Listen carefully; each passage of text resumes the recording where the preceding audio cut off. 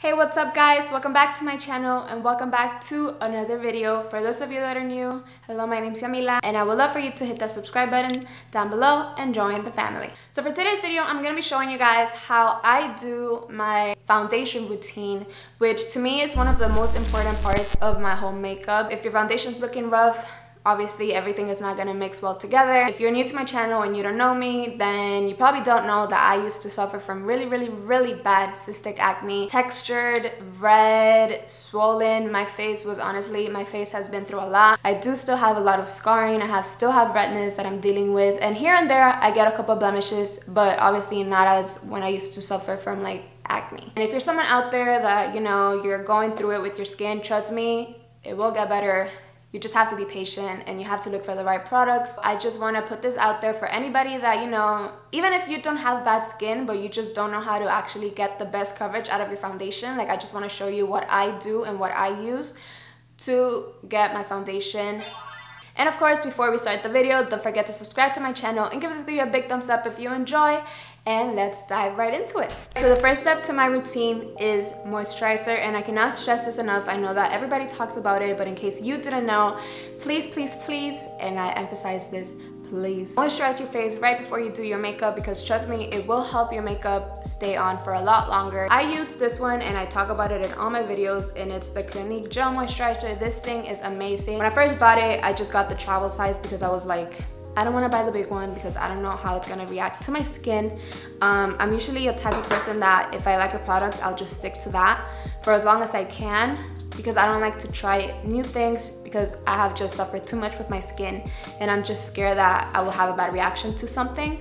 But I decided to try this one out and I, let me tell you guys, it is amazing. So if you can get your hands on this one, especially if you have oily skin like I do, I would so recommend you to try this one out. And obviously before doing this, wash your hands because you do not want dirty hands touching your face. Once that's set, um, you're gonna go in with the primer and primer is also one of like those crucial steps that you need in makeup because that's what's gonna obviously hold your foundation, it's gonna cover your pores, all of that jazz. I use the Laura Mercier Hydrating Primer, and if you're thinking, why are you using a hydrating if you're saying that your skin's oily? It's not unusual for my powder to get me very dry, especially like on this area right here where I bake the most and over here. I tried this one out and it's honestly amazing. Even when I wear a matte foundation, it still gives me that hydration to the skin that I need. So if you're gonna use a super matte foundation, then I would recommend if you just feel like matte is just getting you too dry, try using a hydrating primer. Maybe that works better for you because that was the problem with me. I just, I started noticing that my face would get very dry and like it would start getting flaky, but you're just gonna put it. And also, I like this one because it's sticky. It's really gonna help that like lock in. So here's where I start my part of my routine when it comes to full coverage this is how I start. And I usually go in with a concealer and this is my all-time favorite concealer like ever. I have been using this for so many years and I will never trade this for like anything. And I just go in and I will go into any like blemishes that I have or any scarring that I have at the moment and don't blend it. Literally that's the trick here. You're gonna just apply it and leave it like that without blending. Leave it like that for a good three minutes. Before we get into foundation, I just want to mention something that's super important but not many people talk about and that is what you're applying your foundation with. Over here, there's many different options that you can use to apply your foundation. They all apply foundation just fine but they all will apply it a lot different and will give you more coverage or less coverage. Beauty blenders will always give you the less coverage and that is because beauty blenders soak up your foundation. So if I want to do like just an everyday makeup or just something soft, I will definitely go in with this. And it's not that it's not going to give you full coverage. If you keep just applying more layers, you will eventually get to a full coverage, but you're just wasting more of your foundation. Next we have this brush and this is so old. I don't even use this, but I still have it just for the video. Kabuki brushes are flat in the surface and they are so great when applying your foundation because it's obviously not soaking up that foundation. It's gonna use the most out of your foundation. This one is pretty good, but it was too big. It didn't allow me to go into small areas, especially over here like inside. I used this one and it's a lot smaller. Let me show you the comparison. you guys see i love this one this one gives me such amazing coverage i really do love this brush and it's super soft it's not harsh at all which is something that i didn't like from this one also however if you're trying to get super like dramatic coverage and i'm telling you this from my own experience if this doesn't work for you, don't come at me, but this is what I've learned, what I've learned in videos. But the best brush to get the best coverage is this one right here, which is just a big flat brush. I used a flat brush up until high school, all the way in middle school, I would still use a flat brush. In high school freshman year, I still used it, but hey, flat brushes give you amazing coverage. But the thing is, it takes a long time. This you have to go like precisely and like blend everything out. But the coverage that this guy gives you, it's amazing. I'm gonna be using a beauty blender because like I said, my face right now is not horrible. So the foundation that I use, and I always talk about this one also, it's the Dior Forever uh, matte foundation. This thing is my holy grail. Another one that I like for coverage is the Estee Lauder I don't know what the name is. I think it's like the long wear 24 hour something. That foundation is amazing and it does not oxidize, which is the best part. I would usually, you know what? I don't know why I haven't used it. I feel like I should purchase it again because that foundation was amazing. This one right here, it's also the matte, the Pro Matte foundation. They also have a dewy one of this one, but this one gives you amazing coverage as well. And you guys can probably already start seeing the coverage that this foundation gives. It's amazing.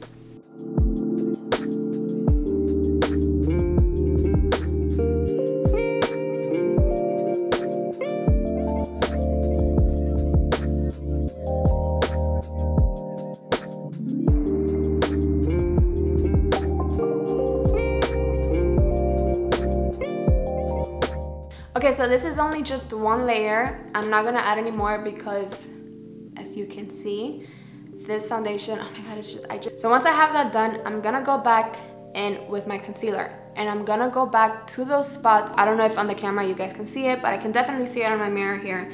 I still have a little pimple right here that's visible and another one right here and another one over here. So I'm gonna go back in with the concealer and just cover that up and this time I am gonna blend them, obviously.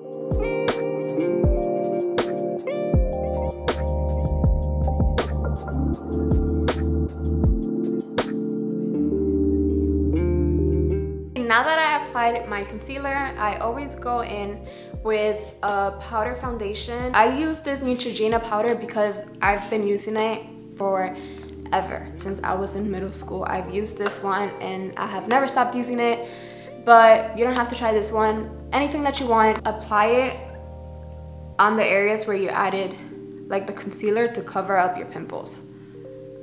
So over here, where I added mine,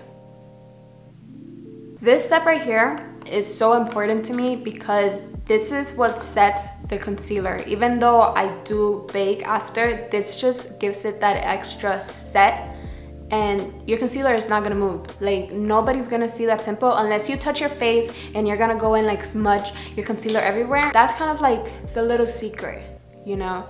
Everybody has their little secret to the routine. Well, this is my little secret to mine. Of course, after that, we're just gonna add concealer to the under eye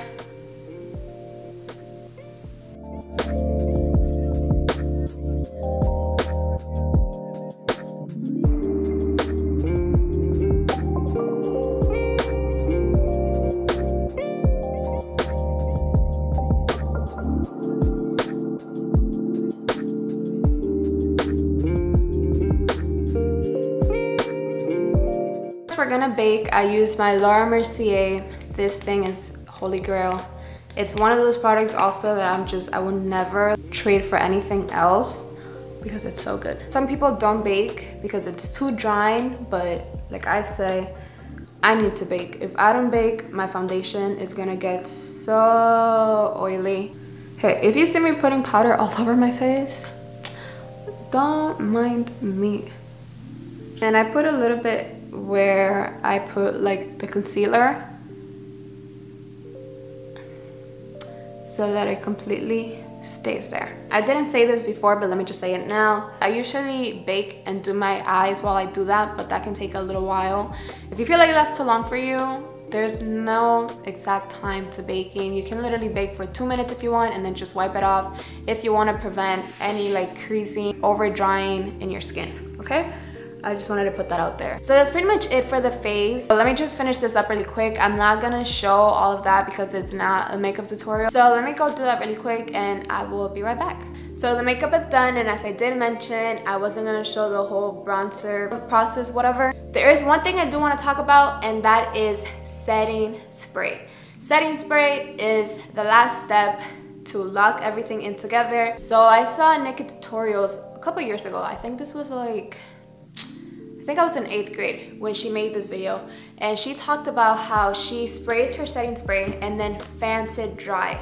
So what I do, well what she does, but I copy from her, is I spray the setting spray and then I just fan my face. And I'm pretty sure you guys have seen it in my other videos that I'm always doing this after my setting spray and it's because it's gonna give you that final airbrush finish to your makeup. This like final little step is so important. With that being said, I really do hope you guys enjoyed this video and I hope that it's helpful to some of you guys or anybody here that just wants that little extra coverage. Doesn't matter if you do matte foundation, if you prefer dewy, coverage is coverage either way and that's what this video was meant for just to show you kind of little tricks little tiny steps that not everybody talks about to kind of enhance your foundation don't forget to give this video a big thumbs up and i will see you guys in my next video